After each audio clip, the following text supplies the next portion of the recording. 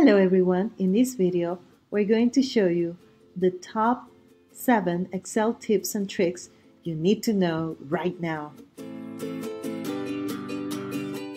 Format Paintbrush is one of Excel's rock stars.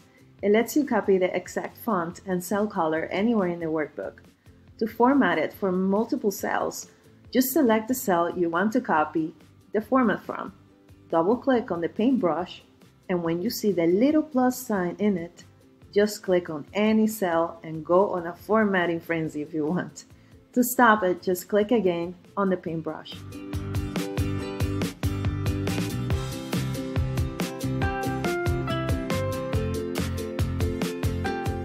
Draw border grid is just another winner. To insert borders on a list or table, the normal way is probably to highlight the cells, go to the Borders tool and manually select the All Borders option. Now, let's look at this example. We don't highlight the cells. We just go right into the Borders tool and scroll all the way down until you reach the Draw Border grid and it feels like magic. To stop it, just click on the tool again.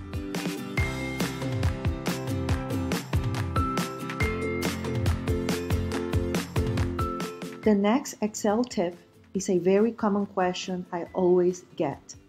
What if you want to select all of the cells with data to the right of a particular column? Well, first you're going to select that column as your starting point and you're going to press in your keyboard first the control button followed by shift and lastly press on the down arrow button you should see the column fully highlighted. Now, while leaving the Control Shift keys pressed in your keyboard, this time you're going to click the right arrow button. Now notice how all of the cells to the right of that particular column should be highlighted. Let me know how you like this tip and if you have any questions, you can actually comment below. Flash fill is one of my favorites because it's a really improved version of the autofill. The autofill as we know it is bound to numerical and simple sequences like dates, numbers, times, and very predictable patterns and so forth. Flash fill actually identifies more complex patterns. In this example, this list of names need to be now formatted in proper case and FlashFill does that.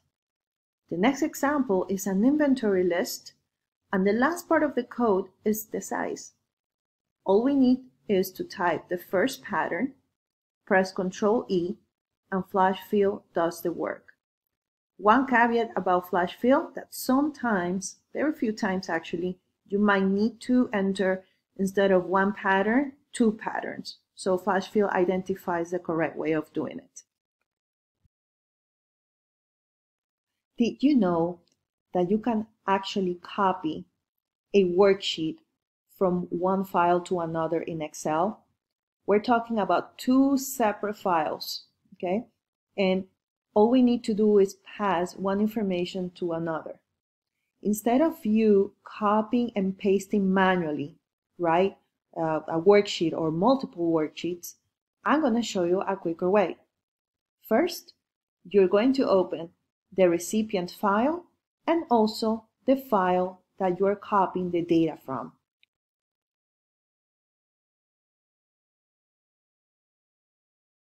Next, go to the Excel file that you are copying from or the file that is giving away the information. Click on the tab of the worksheet that you need the information from. Scroll down, right-click inside of the tab make sure that you're right clicking right inside of the tab so you can see the select, move, or copy option. On the very top, there is a drop down that lets you select the Excel file that you need to move the information to. And even it lets you create a brand new workbook. In this case, we're going to select the file that is receiving the information we also checking the Make Copy option, and this works pretty much just like copy and paste, just in a matter of seconds.